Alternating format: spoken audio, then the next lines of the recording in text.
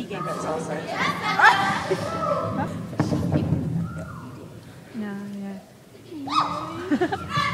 Let's go, Becca!